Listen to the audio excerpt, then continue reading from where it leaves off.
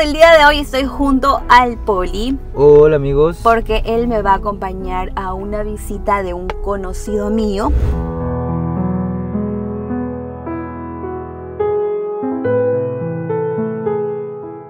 Oye, ¿tú no lo conoces al serrano Michael? No. ¿No lo conoces?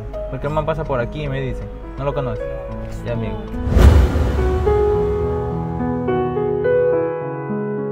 Mira, mira acá, oye, si te acuerdas de mí, ve?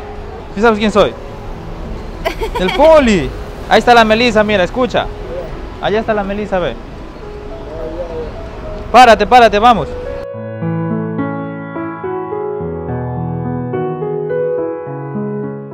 ¿Qué hicieras si yo te voy y te dejo donde tu mamá?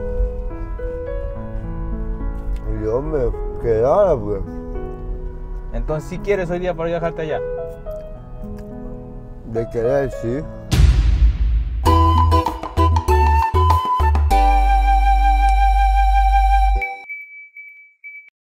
¿Qué tal? ¿Cómo están amigos? El día de hoy estoy junto al Poli Hola amigos. porque él me va a acompañar a una visita de un conocido mío.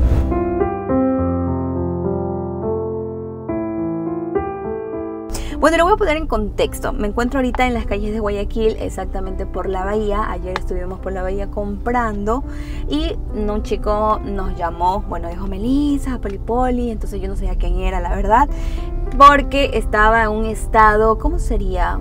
De la calle. No Estaba- adecuado. entonces yo no le sacaba pinta y él me dice, Meli, soy yo, Michael.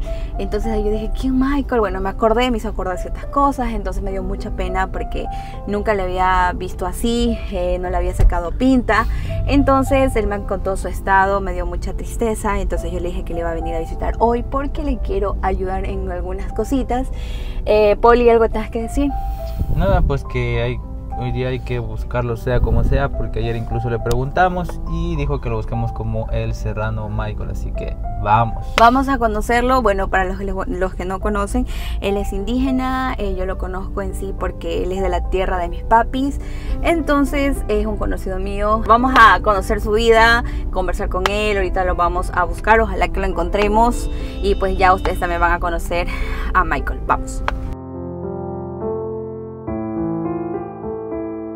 Oye, ¿tú no lo conoces al serrano Michael?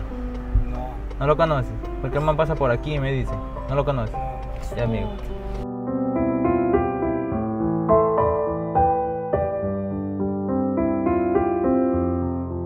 Ya lo encontramos después de como dos horas buscando. Llegamos como a las nueve. Son... Van a ser las 12. Van a ser las 12 la plena. Ya está. Michael, dile.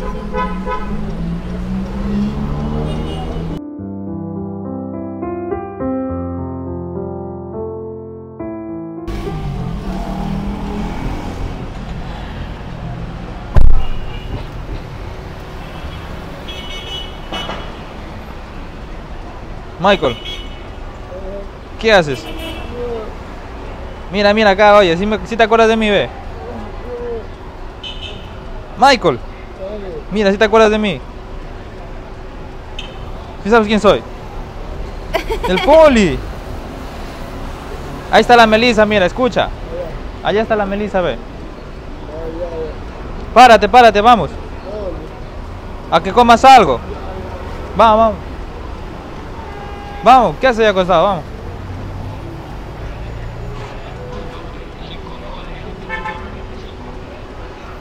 Vamos, vamos. Ahí no hay nadie, no hay nadie. Tú piensas que yo, no te llevo a la fuerza.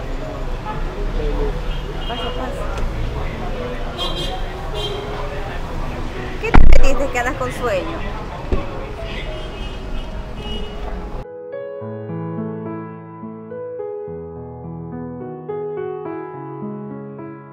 ¿Qué que- pasó? Sí que te busco casi como dos horas.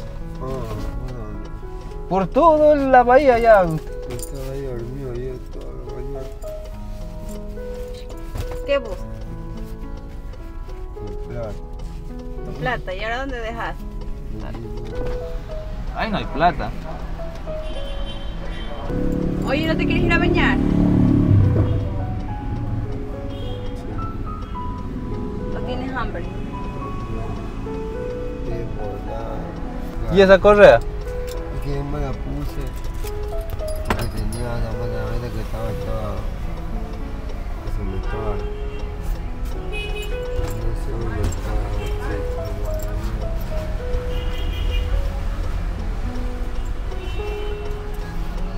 ¿Y ahora? Yo estoy pensando que este. ¿Y ayer a qué hora te, te, te, te acostaste a dormir? a la. Como a las 12. ¿No quieres irte a bañar? ¿O qué quieres?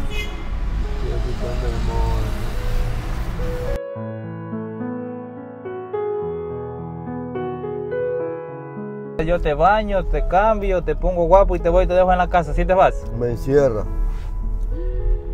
Ella me encierra. Y no quieres. O sea, si quiero. Si quiero. ¿Y por qué no aprovechas mejor esa oportunidad ahora? Yo no te puedo dejar, a- mira, escúchame, yo no te puedo llevar a la fuerza, ¿me entiendes? Porque como dicen muchas, muchas veces, todo es voluntad tuya. O sea, si tú quieres cambiarlo, pues incluso yo tengo un caso, mira, yo conozco una persona que el man también, así como vos, vivía el man en la calle, consumía, se metía a su huevo. Y el man nunca se fue a una rehabilitación. Mm. El man llegó un día donde el man mismo se vio que estaba bien en la mierda y dijo, no, y ahorita el man trabaja, tiene sus cosas, saliendo a su cuarto, se viste bien, me conoce, ¿qué más, mi Susa? Decía, ¿Cómo está? ¿Qué hicieras si yo te voy y te dejo donde tu mamá? Yo me quedara, pues. Entonces, si quieres hoy día para yo dejarte allá. De querer, sí. Ya, pues entonces, ahorita te voy a ir a bañar, te voy a llevar a que te corten el pelo, para que te veas bien peluqueado, te voy a comprar ropa para que te veas bien vestido y te vamos a dejar a tu mamá. Y Mi para que, para que tú te veas la Mi diferencia. mami se pone brava, la conozco. Mira, mi mami lo único que va a hacer es esto, esto, porque ya lo he hecho ya. Ya me he ido yo así bien vestido, así como tú dices, cuando he tenido plata. Y mi mami lo único que hace es ignorarme. Ignorarme, eso es feo. Que alguien te, te demuestre indiferencia. Eso es feo. Es feo, es, es peor que alguien te pegue unos puñetes. Yo prefiero que ella me pegue a que me ignore, a que, a que, a que me muestre indiferencia. Oye, y en sí, ¿a ti quién te dio la primera vez probar esa ¿No te acuerdas? La primera vez me dio un man que vivía al frente de mi casa. Parecía un guicho. ¿Pero qué te dijo el man? El man se estaba tatuando al lado de mi casa, donde un pana. El man me dice, espérate que me voy a meter unos pases, me dice. Y yo estaba con eso de la otra vez que el man decía, unos pases, unos pases, ¿pero qué será eso? Y me dice, ahora si quieres, me dice, le digo, no sé, le digo, no, ya no sé. Ya pues cogió, me dio los primeros dos. De ahí para allá se destruyó mi vida. Me hizo vomitar. Ah, vomitaste. Vomi- Me hizo vomitar, me, me mareé feo, eh, que hasta me quedé dormido. Tanto así, tanto así, que no me gustó, dije, "Sí, esta nota no. Pero al otro día algo me llamaba, ¿Ya? o sea, algo me jalaba a que yo la compre. No era la sensación, era lo, no sé, yo decía algo, algo, algo, algo tiene esto que ya la voy a comprar dos horas así. Y hasta que terminé, terminé, terminé perdiendo el colegio, terminé expulsado del colegio, terminé peleando con el papá, uy, terminé la desconfianza, ya los cuartos en la casa, ya todos los cuartos ya tenían candado, ya no podía estar yo en ningún cuarto porque si yo pasaba por ahí me iba llevando algo así. ¿Cuántos años tienes ahorita? 27. 27. ¿Y cuántos años ya tienes así en la calle? Mm. Un año. Un año. Mira, yo voy a hacer todo lo que ustedes digan, ¿Ya? pero menos yo no quiero mi mami. ¿No quieres ir de tu mamá? ¿No la quieres ir a visitar? No, no quiero ir. Y si así te compramos una funda de cosas que llegues con algo de comida a tu mamá, ¿no quieres? Mi mami tiene de todo, mi mami no. ¿A tu Ah. mamá no le falta nada? No. No quiero ir porque el día que yo, ella, yo la vi en el malecón aquí hace un mes, dos meses, ella lo que hizo fue ignorarme.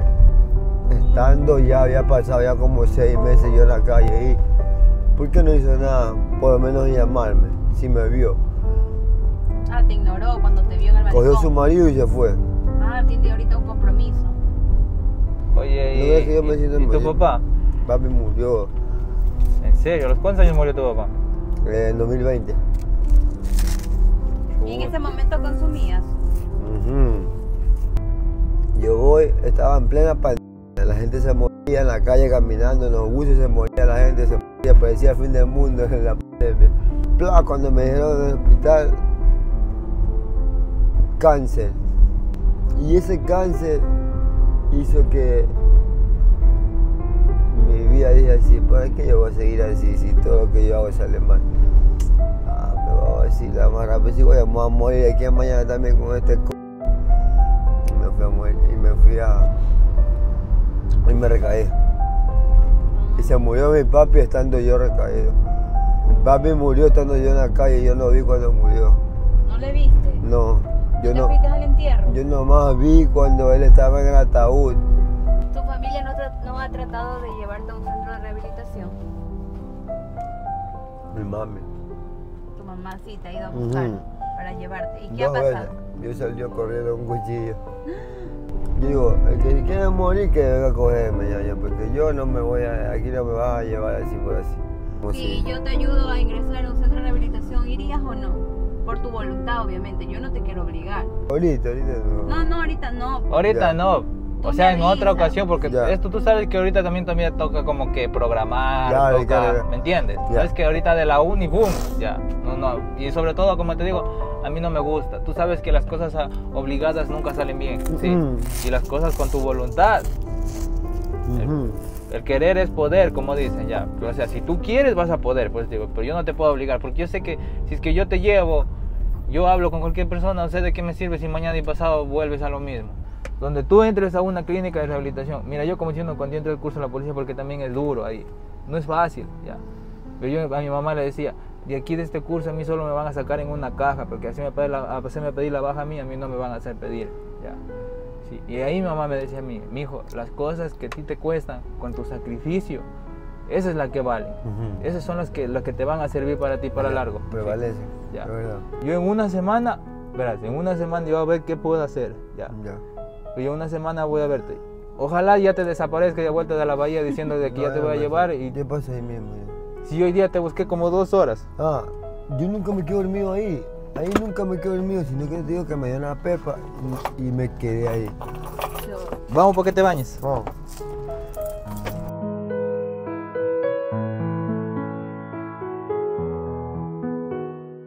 Bueno chicos, el día de hoy Michael Jackson. Mm. ¿Cuál es tu apellido?